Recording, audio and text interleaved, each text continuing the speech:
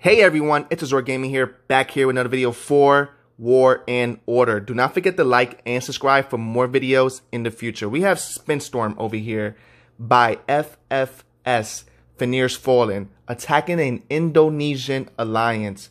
Now, INA is Indonesian, and we have some battle reports here for you. Well, I have one. It's in the world chat shared by this guy over here named Ares. Now, it seems it seemed as though this guy named Zam with the question marks left his alliance and Spinstorm caught him while he tried to probably reinforce one of these farms that Spinstorm is trying to get resources from. So I'm watching carefully and he caught him out. So Spinstorm is an experienced player. So this guy got caught out 13,000 uh, losses. I don't know if he just lost those just now, but he did get caught out. And it's interesting because in this battle report right here, he's one of the dudes talking. There are mice. FFS, the rank one alliance are mice. That's what this guy is saying. It's the rank one alliance. And the Indonesians have no fear.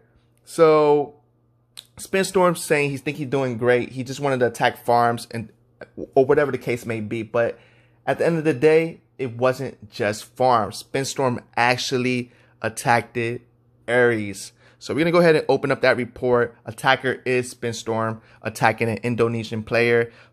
On the Indonesian side, the defenders have five battle participants, 173,000 troops, 78 losses, man. Those are probably golems, right? So Spinstorm lost 130,000 power, 27,000 troops. But it's all good. It's all good because I know that FFS probably is going to avenge this, probably is going to do something about this. I'm not quite sure yet, but it would be great for video footage for you guys. But let's go ahead and look at the battle report.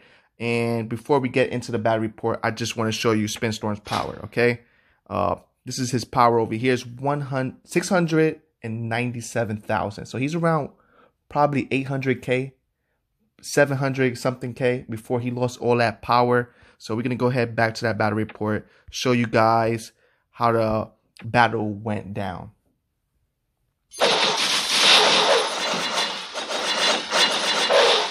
So it seems as though he's holding his ground right here. Took out the blue mages, and here's where the here's where the, the fort came in.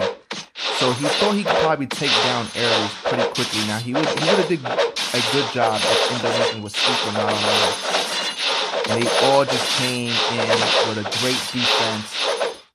And Spinstorm took punishment there.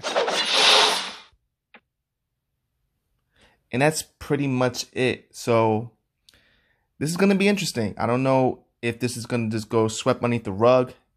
But uh, it's the second biggest battle report as far as power lost, uh, reinforcing, or and things of that nature. So I had to record it, had to share it, and I hope you guys enjoy the footage. I'll see you next time on the next video.